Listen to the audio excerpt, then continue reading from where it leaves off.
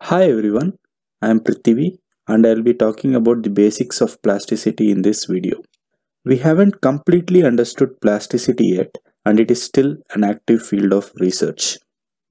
Until few years ago, I never understood why do we study plasticity and where it is being used. Here are a couple of pointers to answer that. The first one is the fatigue as you know that 50 to 90% of mechanical failure are by fatigue and the mechanism of fatigue failure is governed by the plastic deformation. Hence, in order to design better fatigue resistant materials and structures, we need to understand plasticity. The second one is in the manufacturing processes. Bulk forming, sheet forming and shot peening involve plastic deformation. So, plasticity needs to be understood for the manufacturing process design.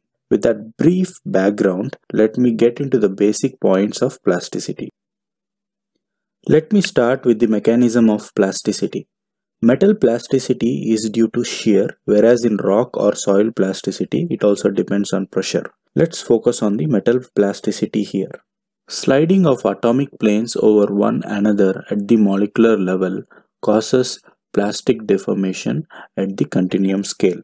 This is a uniaxial stress strain curve for a general ductile material. When you load the material beyond the yield stress, you get plastic deformation. There are two regimes with respect to the yield. The first one is the elastic regime. It is well known that the loading and the unloading curves follow the same path. The second one is the elastoplastic regime. In real materials, beyond initial yield, there will be both elastic and plastic deformation. In elastoplastic regime, the loading and unloading paths are different. The unloading path is elastic and will be parallel to this line. Let's extend this argument to the strains. Let's say we loaded the material to a point A in the elastoplastic region. Strain at A will be the sum of both elastic and plastic strains. Let me explain how to obtain them. Let's do an imaginary unloading from A. This was our initial strain epsilon A and after unloading we are left with this much amount of strain. In other words, we have recovered this much amount of strain upon unloading and by definition it is the elastic portion of the strain. This portion here, the yellow line, is the permanent deformation after unloading and this is the plastic portion of the strain. So we have epsilon A as a sum of elastic and plastic strains.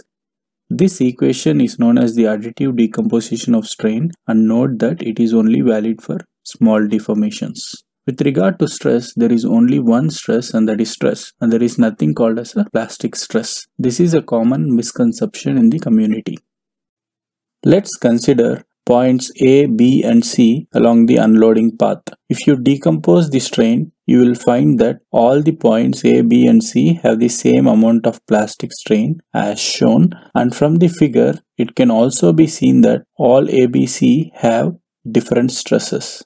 Although the stresses change, but the plastic strain remains constant. So, the stresses aren't directly related to the plastic strains or in other words, the plastic strains do not induce any stress. The stresses are related to elastic strains. For example, the stress at B is equal to the Young's modulus times the elastic strain at B. Now, the question is, what does plastic strain contribute to?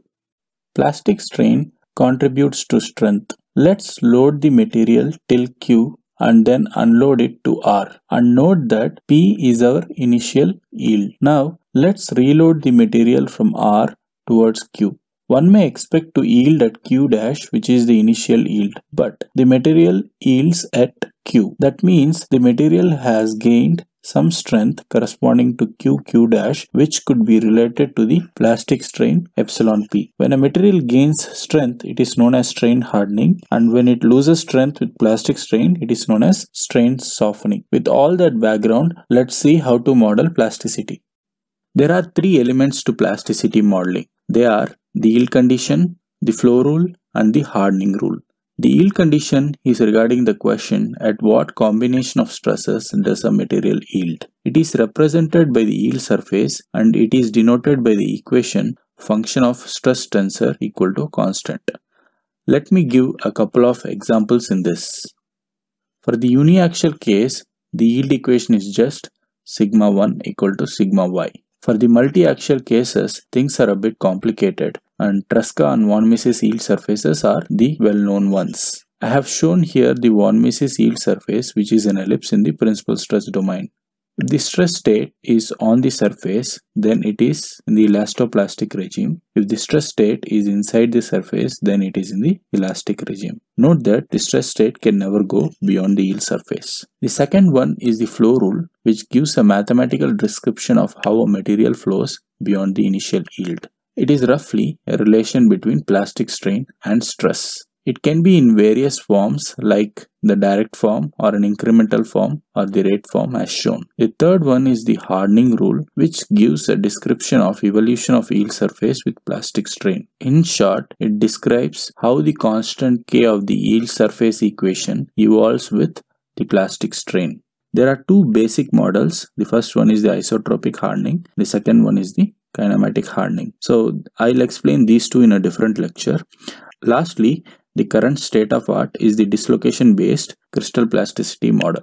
So with that, I have finished the basics of plasticity. Thank you very much for listening. Here are the other solid mechanics videos in my channel which could be useful. So if you have any questions or comments, please let me know.